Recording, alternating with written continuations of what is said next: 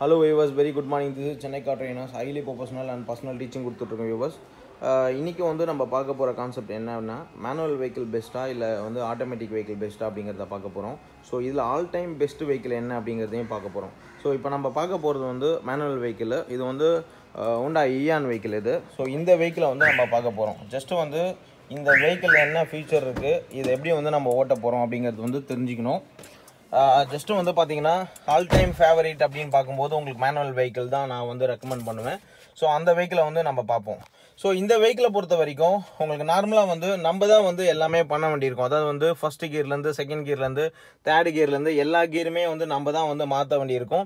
Speed லிமிட்டும் வந்து நமக்கே தெரிஞ்சிடும் ஆக்சுவலாக வந்து எந்த ஸ்பீடில் நம்ம வந்து ட்ரைவ் பண்ணிகிட்டு இருக்கோம் ஏன்னா பிகாஸ் வந்து நீங்கள் ஒவ்வொரு டைம் வந்து கீர் மாற்றும் போது உங்களுக்கு கிளியராக வந்து தெரிஞ்சிடும் ஸோ அதை எப்படி நம்ம மாற்றுறோம் அப்படிங்கிறதையும் இப்போ நான் உங்களுக்கு காமிச்சிடுறேன்.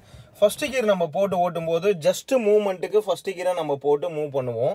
அதுக்கப்புறம் வந்து ஃபஸ்ட்டு கியருங்க வந்து மூமெண்ட்டுக்கு அப்புறம் நம்ம செகண்ட் கியருக்கு போவோம். அதுக்கப்புறம் தான் தேர்ட் கியர் செகண்ட் கியர் வந்து டுவெண்ட்டிலேருந்து தேர்ட்டி அந்த ரேஞ்சுக்குள்ளே ஓட்டும்போது second gear thirty to forty நீங்கள் போகும்போது வந்து பார்த்தீங்கன்னா தேர்ட் கியரில் நம்ம ட்ரைவ் பண்ணுவோம்.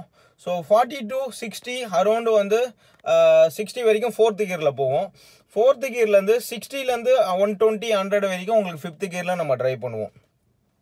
ஸோ இது ஃபுல் அண்ட் ஃபுல் வந்து பார்த்தீங்கன்னா நம்ம தான் ஒரு ஒரு வாட்டியுமே கிளச்சை ப்ரெஸ் பண்ணிவிட்டு ஃபீல் பண்ணி ப்ரெஸ் பண்ணிவிட்டு கீரை மாற்றுறதுனால நமக்கு நல்லாவே தெரியும். நம்ம எந்த ஸ்பீடில் வந்து ட்ரைவ் பண்ண போகிறோம் எப்படி நம்ம என்ஜாய் பண்ணி ஓட்ட போகிறோம் அப்படிங்கிறது வந்து நமக்கு நல்லாவே தெரிஞ்சிடும் இதில் வந்து வேறு எந்த ஒரு டவுட்டும் கிடையாது. ஏன்னா நம்ம ஆக்சிலேட்டர் வந்து எந்த அளவுக்கு ஃப்ரெஷர் கொடுக்குறோமோ அந்த அளவுக்கு வந்து ஸ்பீடு போகும். ரெண்டாவது வந்து கீர் மாற்றுறதுனால நமக்கு ஒரு நல்ல சிஸ்டம் தெரிஞ்சிடும் இந்த வெஹிக்கிளை பொறுத்த வரைக்கும் எந்த ஒரு மைனஸுமே கிடையாதுங்க.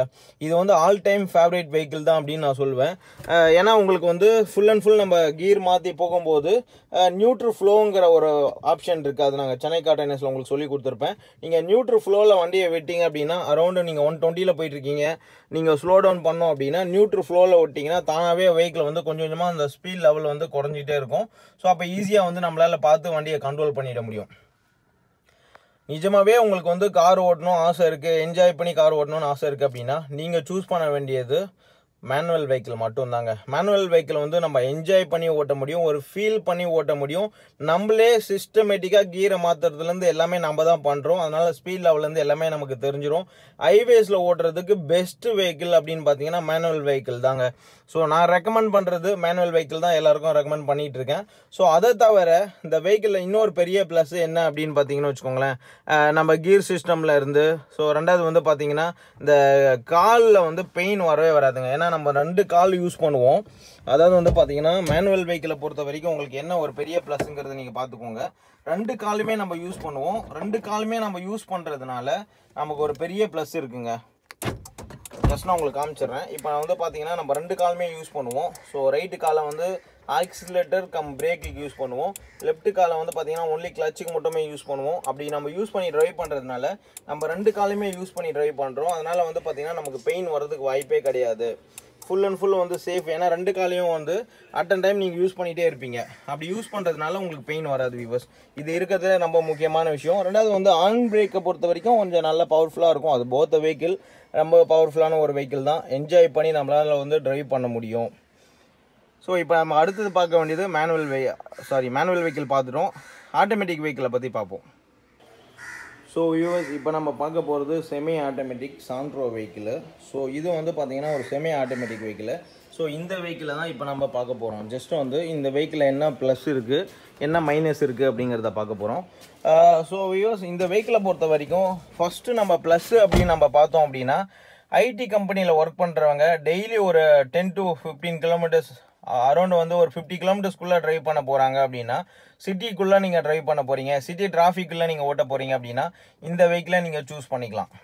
இந்த வெஹிக்கிள் வந்து பார்த்தீங்கன்னா ஃபுல் அண்ட் ஃபுல் லேடிஸ்க்கு ரொம்ப யூஸ்ஃபுல்லான ஒரு வெஹிக்கிள் ரெண்டாவது அவங்க என்ஜாய் பண்ணி ஓட்டக்கூடிய ஒரு வெஹிக்கிள் தான் இந்த வெஹிக்கிள் செமி ஆட்டோமேட்டிக் வெஹிக்கிள் இந்த வெஹிக்கிளில் வந்து பார்த்தீங்கன்னா ஒரு பெரிய விஷயம் கிடையாது. நம்ம கீர் மாற்ற வேண்டிய அவசியமே கிடையாது. டீன்னு கொடுத்துருப்பாங்க. அந்த டீயில் நீங்கள் மூவ் பண்ணிட்டீங்க அப்படின்னா drive mode so ready to drive அப்படிங்கிறது வந்து டி ஸோ நீங்கள் டீயில் மாற்றிட்டீங்க அப்படின்னா வெஹிக்கிள் வந்து நல்லாவே போக ஆரம்பிச்சிடும் இப்போ இந்த எண்ணென்னு இருக்குது பாருங்கள் அது வந்து உங்களுக்கு ஃபுல் அண்ட் ஃபுல் நியூட்ரல் என்னங்கிறது நியூட்ரலு ஸோ டிங்கிறது வந்து ரெடி டு டிரைவ் இப்போ பாருங்கள் நான் டி மூடில் மாற்றிட்டேன் டி ஒன் அப்படின்னா டிரைவ் மூடு ஸோ இப்போ நீங்கள் டிரைவ் மூடில் போட்டிங்க அப்படின்னா நீங்கள் கொடுக்குற ஆக்சிலேட்டருக்கு ஏற்ற மாதிரி வண்டி வந்து போயிட்டே இருக்கும். ஸோ அது வந்து ஒரு பெரிய விஷயமே கிடையாது. இந்த வெஹிக்கிளில் வந்து ஆக்சிலேட்டர் கம் பிரேக் ரெண்டு தான் இருக்குது ஆக்சிலேட்டர் நீங்கள் லைட்டாக டச் பண்ணிட்டே இருந்தீங்கன்னா எவ்வளோ தூரம் நீங்கள் ப்ரெஸ் பண்ணுறீங்களோ அந்த ப்ரெஷருக்கு ஏற்ற மாதிரி வெஹிக்கிள் ஸ்பீட் லெவல் வந்து தானே ஆட்டோமேட்டிக்காக வந்து மூவ் ஆகிட்டே இருக்கும். D one D two D three D four அப்படின்ற மாதிரி மூவ் ஆகிட்டே இருக்கும். ஸ்பீடுக்கு ஏற்ற மாதிரி. ஸோ இன்னொரு விஷயம் என்னென்னா இந்த வெஹிக்கிளை பொறுத்த வரைக்கும் நம்ம வந்து ஒரு கால் தான் யூஸ் பண்ணுவோம். அதாவது வந்து ரைட் காலை தான் யூஸ் பண்ணுவோம். அப்படி ரைட் காலை யூஸ் பண்ணி நம்ம அக்சஸ் பண்ணும்போது ஃபஸ்ட்டு வந்து ஆக்சிலேட்டரை நம்ம ப்ரெஸ் பண்ணுவோம். பிரேக்குக்கும் அதே காலை தான் யூஸ் பண்ணுவோம். அப்படி பண்ணுறதுனால என்ன ஆகும்னா நம்ம கால் வந்து பெயின் ஆகிறதுக்கு நிறைய வாய்ப்பு உண்டு. அது ஃபஸ்ட்டு மைனஸ் ஆட்டோமேட்டிக் செமி ஆட்டோமேட்டிக்காக இருந்தாலும் ஆட்டோமேட்டிக்காக இருந்தாலும் ஃபஸ்ட்டு மைனஸ் அதுதான். செகண்ட் மைனஸ் என்ன அப்படின்னு பார்த்தீங்கன்னா நம்ம எந்த ஸ்பீடில் போகிறோங்கிறத நாம் தான் பார்த்து தெரிஞ்சுக்கணும். ஏன்னா நமக்கு ஃபீல் வந்து இங்கே கையில் நம்ம கீர்லாம் மாற்ற போகிறது கிடையாது. அதனால் நமக்கு தெரியாது. நம்ம digital digital sorry digital meter மாதிரி நம்ம இங்கே தான் பார்த்து தெரிஞ்சுக்கணும். எந்த ஸ்பீடில் வந்து நம்ம ஓட்டிகிட்டு இருக்கோம்? எவ்வளோ ஸ்பீடில் வெஹிக்கிள் போகுது? எந்த கீரில் போயிட்டுருக்கு அப்படிங்கிறத இந்த மீட்டரில் பார்த்து தான் நம்ம தெரிஞ்சுக்க வேண்டியிருக்கோம். இங்கே பாருங்கள் டின்னு இருக்கு இல்லையா? டி ஒன்றுன்னு இருக்குது பாருங்கள் அந்த டி ஒன்று கிட்ட வந்து D two D three D four D five அப்படிங்கிற மாதிரி வந்துகிட்டே இருக்கும். ஸோ நம்ம அப்போ பார்த்து தெரிஞ்சுக்க முடியும். இது வந்து உங்களுக்கு செகண்ட் மைனஸ் நம்ம பார்த்து கேர்ஃபுல்லாக ஓட்டணும்.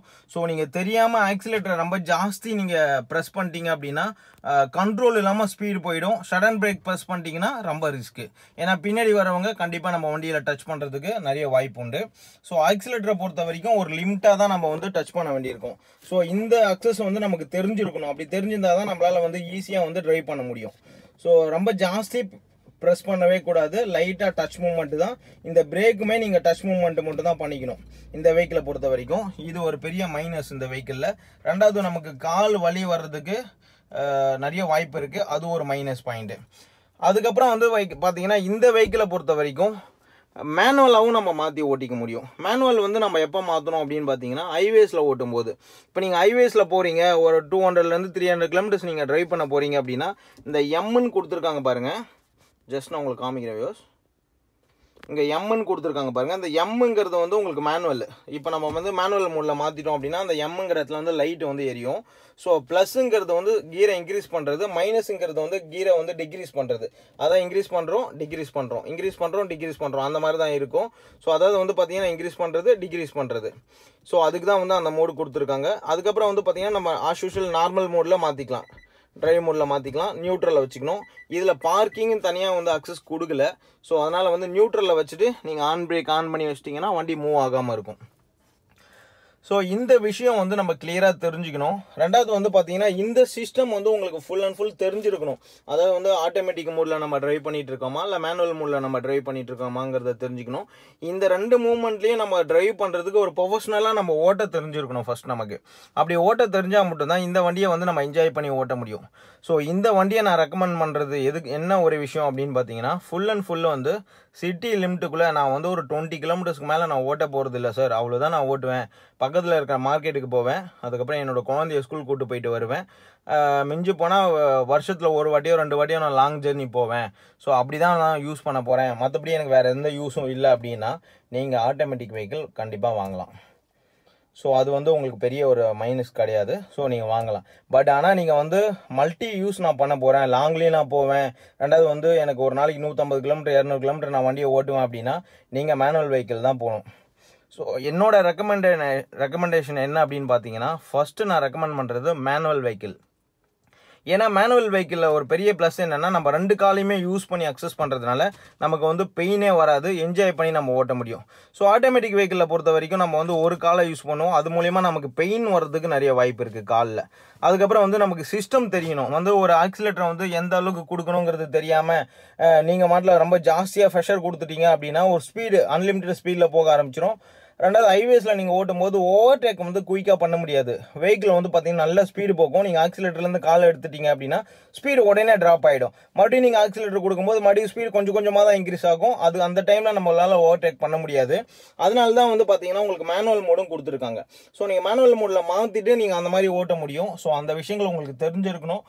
மேபி உங்களுக்கு அந்த விஷயம் தெரியல நீங்கள் ஆட்டோமேட்டிக் மோட்டில் தான் ஓட்ட போகிறீங்க அப்படின்னா அப்படி ஓட்டும் போது உங்களுக்கு மைலேஜ் வந்து நிறைய ட்ராப் ஆகும். ஸோ அதுதான் இருக்கிறதுல ஒரு பெரிய மைனஸ் மூணு மைனஸ் இருக்குது ஒன்று கால் வலி வரும். ரெண்டாவது வந்து நம்ம கரெக்டாக வந்து ஆக்சிலேட்டர் கொடுக்க தெரிஞ்சிருக்கணும் ஸ்பீட் லெவலுக்கு ஏற்ற மாதிரி. மூணாவது வந்து ஹைவேஸில் ஓட்டும் போது கரெக்டாக எந்த சிஸ்டமில் நம்ம ஓட்டணும் அப்படிங்கிறது தெரிஞ்சுக்கணும். ஸோ அது தெரிஞ்சுக்கிட்டோம் அப்படின்னா நம்மளால் என்ஜாய் பண்ணி ஓட்ட முடியும். பட் அது தெரியல அப்படின்னா அது தெரிஞ்சுக்கிட்டு ஓட்டுறது நல்லது. இந்த மாதிரி நிறைய விஷயங்கள் இருக்குது ஆஸ் யூஷுவல் அந்த மேனுவல் வெஹிக்கிளாக இருந்தாலும் சரி ஆட்டோமேட்டிக் வெஹிக்கிளாக இருந்தாலும் சரி முன்னாடி பார்த்து நம்ம ட்ரைவ் பண்ண போகிறோம் பட் வந்து ரொம்ப சேஃபாக ட்ரைவ் பண்ணணும். என்ஜாய் பண்ணி ஓட்டணுங்கிறது தான் என்னோட ஆசை.